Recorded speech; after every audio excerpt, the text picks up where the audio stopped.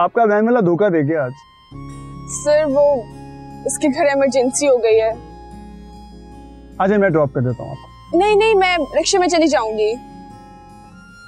शहर में VIP movement है। आधे शहर की सड़कें ब्लॉक हैं। आज मैं ड्रॉप कर दूँगा। अरे इतना सोचेंगी तो यहीं रह जाएँगी। Come I drop you thank you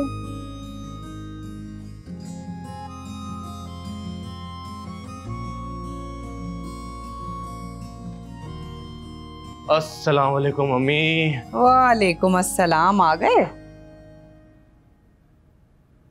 mummy बहुत भूख लगी है। कुछ खाने को दें? हाँ तो वो वहाँ है किचन। जाओ जाके खा लो खुद ही। तीन घंटे मैं सैलून पे लगा के आई हूँ। अब किचन में तो नहीं जाऊँगी ना ज़ाहिर सी बात है। माशाल्लाह माशाल्लाह माशाल्लाह। रोज बरोज आपके फ़ैशन में इजाफा ही होता जा रहा है। हाँ तो इसमें क्या बुराई है? वसीम साहब आपको ना अपने खानदान की औरतों को देखने की आदत पड़ गई है जो सर झाड़ मुँह फाड़ कहीं भी चली जाती है। तुम्हारे साथ मसला क्या है? ये बात बात है मेरे खानदान का ज़िक्र क्यों लेके आ जाती तुम? तो भाई आप मुझे ये बताएँ कि आप घूम घाम कर मेरे ओढ़ने पहनने का ज़िक्र कहाँ से ले आते हैं? मम्मी आपको ना वकील होना चाहिए था। तुम तो रहने दो चुप कर जाओ। एक ही वकील बनाकर पछता रहा हूँ इस घर के अंदर।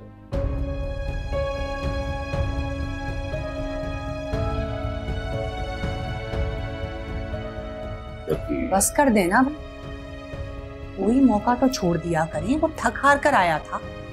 औलाद है मेरी और बाप होने के नाते फ़र्ज़ है मेरा कि मैं उसे समझाऊं कि क्या सही है क्या गलत। ज़रूर करें आप लेकिन कम से कम तंज तो ना करें ना। एक तो तुमसे कोई बात में जीत ही नहीं सकता। मैंने तुमसे अरसलान के रिश्ते के लिए कहा था। कहीं बात चलाई उसके रिश्ते की या नहीं चलाई अभी तक। भाई शादी पे जाएँगे ना वहीं लड़की पसंद कर लेंगे। मैं मानता हूँ कि हमारा बेटा लाखों में एक है, लेकिन लड़की लाखों में एक हो या ना हो, लेकिन जहेज जो है ना, वो करोड़ों का लेके ज़रूर आए। इसकी आप फ़िक्र मत करें। लड़की में कम उम्र और खानदान बहुत बड़ा लेकर आऊँगी, और लड़की खूबसूरत भी होगी।